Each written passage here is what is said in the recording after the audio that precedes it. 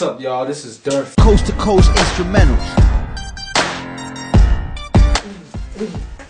So, um, New Generation Comics, yes. I know what you're thinking. What is New Generation Comics? Well, New Generation Comics is a media group, media organization that its purpose is to treat truly represent time. What's good? What's popping? When I say media, I mean everything. I mean, we aspire one day to have our own channel, have our own network, you know, have our own media empire. With that, as I said, that's in the future. We're talking 20, 30 years. And if God is with us, it'll probably be less, but most likely, no. Uh, second point, Cool NGC is simple.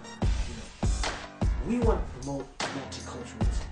Yeah, I know y'all gonna say, damn, multiculturalism, just like take this little, little hating ass. Anyway, you know, the because and ultimately promote multiculturalism. You know, you know, little black kids who grow up seeing not themselves. Just when I was growing I shit. Manga was showing me these Japanese animation all day. I didn't see not one nigga. I saw Popo, that was a black ass motherfucker. He was ugly as shit. I saw some other black ass motherfuckers. They were all ugly as shit and stupid too. So that tells me, you know, hey, black people are stupid. Shit. Hey.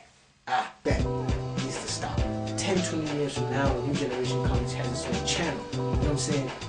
I want these little kids growing up, little little black kids, little Chinese kids, little little Aborigine Australian kids. You know, I want them to grow up. When they see, they sit down for two hours max. They see four cartoons. In those four cartoons, they should be an African main character, a Chinese main character, a Mexican main character, and if need be, a fucking Australian main character. You know what I'm saying? So that so that way, when he leaves, he gets he, he, he's in the spectrum.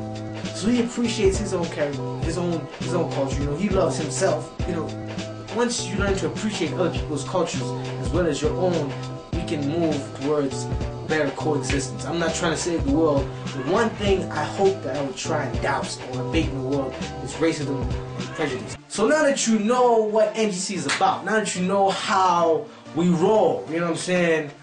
You know, hopefully if you agree with us, you can spread the word. You know, we are on Facebook, we are on Facebook, and we are on Facebook. You know, so that's three Facebooks. So you can just go around Facebook. We, we do what we got for now. So share our page, you know, page, you know, is hopefully around the video. Just share it, you know. Tell young artists, you know, when I mean young artists, I mean artists hopefully under 20.